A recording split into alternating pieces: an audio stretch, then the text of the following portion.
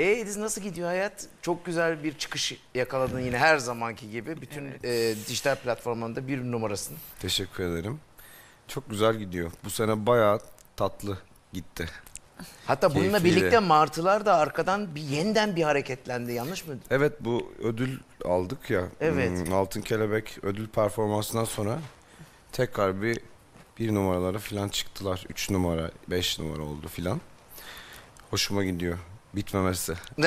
Çok güzel Ne harika. kadar ilerlese o kadar benim için daha rahat oluyor. Çünkü ben albüm yetiştirme sitesindeyim. Yani şimdi onlar tekrardan böyle popüler olunca benim için keyifli oldu yani. Ne zaman kısmet sahibi? Söz vermeyeyim ama Mayıs gibi düşünüyorum. Ama bir yandan da İngilizce albümde hazırladığım için çok karışık halde her şey. Bir de daha önce yaptığımız şarkılar var. O ya şarkıları şimdi yayınlamamak istiyorum bazılarını. Çünkü dönem ilerledikçe başka ta- tatlar geliyor bana. Ben hep çok bencilim o konuda. Kendim ne istersem onu yaparımcı bir tarafım var. O yüzden de em, bazı şarkılar Eren'de gibi. Şimdi bana yeni yeni e, maceralar açılıyor. Bakalım. Neden İngilizce albüm? E çünkü İngilizce şarkı söylemeyi seviyorum.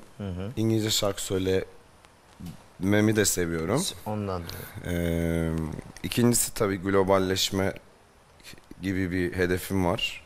Yani bunun zirvesine kadar zorlamak derdim. Herkesin hayali olabilir. Kimisinin bilmiyorum olmayabilir ama benimkinin hani e, en top noktası buydu.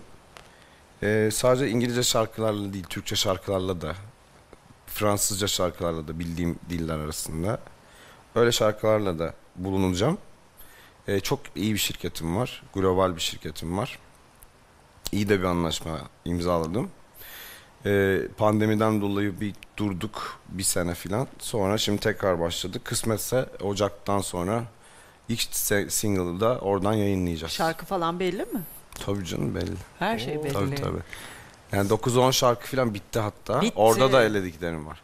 Bunların hepsi 3-4 senelik çalışmalar. Yeni değil yani. Yeni değil. hayır. Peki Türk müzisyenlerle mi çalışıldı onun da? E, Türk müzisyenler var. E, yabancı müzisyenler de var. Karma. E, ilk şarkıda e, müzik tamamen bir Türkiye ait. Çok güzel. Daha önce yaptığım bir Türkçe şarkının İngilizcesi çünkü.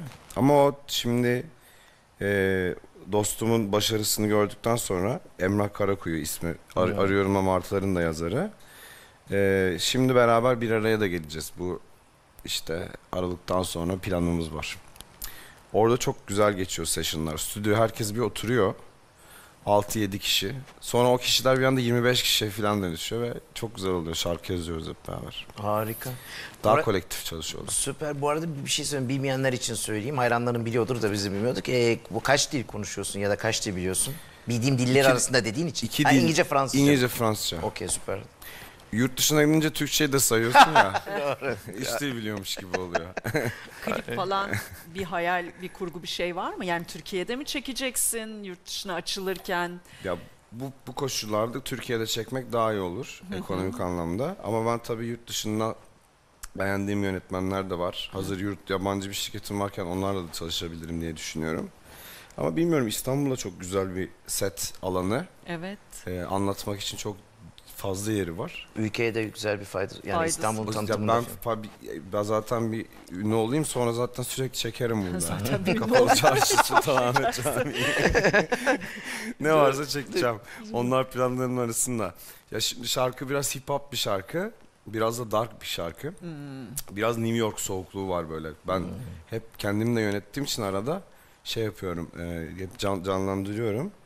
Böyle benim imajinasyonumda şey var. e, yani böyle şehir klibi, bir mutsuz bir belgesele yakın bir klip var bakalım. Belgeye yak yani gerçek bir şey anlatıyormuşçasına bir klip. Film gibi çekmişsin. Sinematografik. Film gibi değil, belgesel gibi. Belgesel Evet, gibi. film gibi o zaman kur yani şey gibi oluyor, dramatik oluyor. Dramatik bir şey değil, daha böyle durumları anlatan bir şey düşünüyorum. Bayağı da anlattım size. Evet çok Dans- güzel. Ben Dans şu an hayal ediyor gibiyim. Dans Dans var. bile şöyle, e, dansta dans stüdyosunda dans çalışırken olmalı gibi. Hani gerçek Yani sokakta değiliz. ya şey Varillerin değil yani, arasında buradayım değil. ben danslarımız bizim öyle ya şimdi bütün Evet, kliplerimde benim. evet. Öyle değil de sanki daha böyle de olan bir şey Yine ıslak mı böyle senin böyle bir Olur. Yağmurlar, çamurlar. seviyorsun ya o suları falan filan. Evet evet çok. Zorlayıcı bu arada. O- Yani o kadar tamamen İzledim ben yoruldum izlerken. meydan okuma olarak yaptık biz onu. Yani çünkü suya girdik zaten botlar oldu 50 kilo. Evet. Üstümüz oldu şey e, Evet. ağır. Soğuktan gibi yani ölmek üzereydik. E, bayağı kendimize meydan okuduk yani orada.